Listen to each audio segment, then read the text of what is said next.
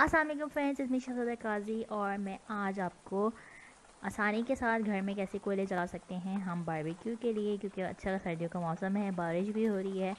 तो चलें स्टार्ट करते हैं। मैंने यहाँ पे लोकल पाकिस्तानी मीट जो है पैन ले लिया है बारबेक्यू का। इसमें मैंने राउंड जो है अखबार के राउंड बना के रख दिए। इसको मैंने ऑयल में डिप कर लिया था कुकिंग ऑयल में।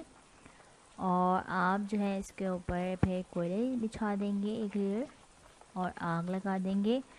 कुकिंग ऑयल में डिप करने से ये फ़ायदा होता है कि हमारे जो अखबार हैं, वो देर तक चलते रहते हैं और इसी की वजह से हमारे जो कोयले हैं तमाम, वो बिल्कुल अच्छे तरीके से रेड हो जाते हैं, अच्छे तरीके से जल जाते हैं।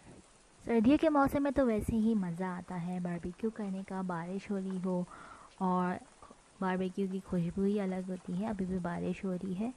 और बहुत इजीली ये जल जाते हैं और अभी थोड़ी देर बाद ही आप उसको पंखा झलते रहें तो उसकी आग भी बुझ जाएगी और तमाम कोयले जो है रेड आपको दिखेंगे।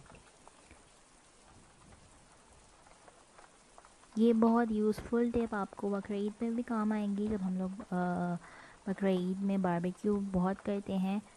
और ये आप देख सकते हैं कि इतने प्यारे रेड कलर के हो गए हैं कोल, हमारे कोयले। अगर आपको मेरी वीडियो अच्छी लगी हो, ट्रिक अच्छी लगी हो तो सब्सक्राइब ज़रूर कीजिएगा और शेयर ज़रूर कीजिएगा। नेक्स्ट वीडियो के साथ जल्दी हाजिर होंगी। सब तक के लिए अल्लाह हाफिज़।